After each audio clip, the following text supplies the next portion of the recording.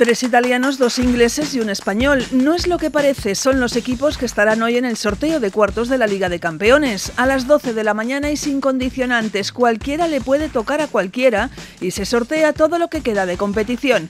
En el bombo poderío italiano con Milán, Inter y Nápoles, el City, el Chelsea, el Bayern de Múnich, el Benfica y el Real Madrid, que defiende su trono conquistado el año pasado y quiere repetir Carlo Ancelotti. Yo no tengo preferencia como siempre, el objetivo para nosotros lo conoce todo el mundo, que es ganar, entonces para ganar la Champions tiene que pasar los cuartos y también la semifinal también tiene que intentar de ganar la final. En la Liga Europa estará solo la bola del Sevilla, que ayer se deshizo del Fenerbahce turco a pesar de perder por 1 a 0. Eliminados la Real Sociedad ante la Roma y el Betis ante el United.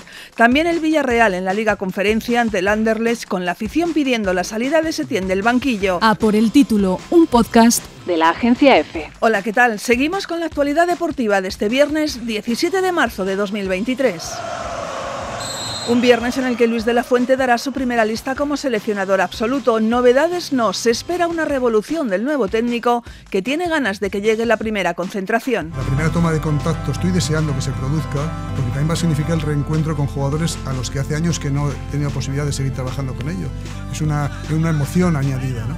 Estoy muy convencido de, hacer un gran equipo, un gran bloque. Mi palabra clave es equipo. La convocatoria es para los dos primeros partidos de clasificación para la Eurocopa de 2024. España recibirá el Málaga, Noruega, el 25 de marzo y visitará Escocia en Glasgow tres días después. La jornada 26 de la Liga que tendrá como encuentro estelar el clásico Barcelona-Real Madrid arbitrado por De Burgos Bengoeche arranca esta noche con el partido Valladolid Athletic de Bilbao, con los locales buscando huir de las plazas de descenso y los visitantes acercarse a las europeas. Por cierto que Valverde dice que nadie le ha llamado para declarar en el caso Negreira, a pesar de que la Fiscalía ha solicitado su declaración y también la de Luis Enrique Martínez. A mí no me ha llamado nadie, por mucho que salga en la prensa no es un proceso que está en, investigación y ya está, ya veremos qué es lo que, lo que ocurre. No hay que hacer ningún juicio paralelo para nada, hay que esperar acontecimientos y ya está. La conquista del Mundial de Qatar ha desatado aún más si cabe la pasión de los argentinos por su selección. Escucha, más de un millón y medio de personas, sí, has oído bien, millón y medio, estaban en la lista de espera virtual una hora y media después de que se pusieran a la venta las entradas para el encuentro frente a Panamá. Se disputará en el Monumental de River y aunque caben 83.000 personas, se queda pequeño.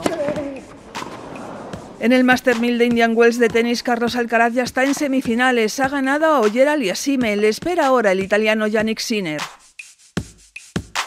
En badminton, Carolina Marín ya está en cuartos de final del All England Open que se disputa en Birmingham. Su rival será la surcoreana An Si-jun, segunda cabeza de serie del torneo, con quien ha perdido los tres últimos partidos que ha jugado.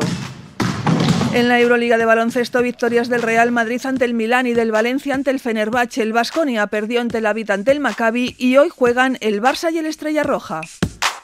El español Álvaro Romero ha sorprendido al acabar segundo la prueba de la Copa del Mundo de Border Cross de Snowboard disputada en Suiza. Lucas Eguíbar acabó decimoséptimo y ha perdido el liderato mundial.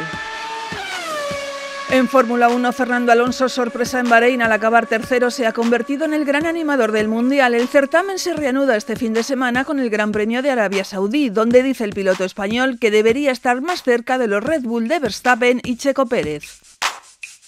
El equipo español de gimnasia artística masculina ha sufrido un accidente de tráfico en Portugal donde disputaba un torneo. Joel Plata ha sufrido una lesión en el fémur y ha tenido que ser operado. El resto de gimnastas están bien.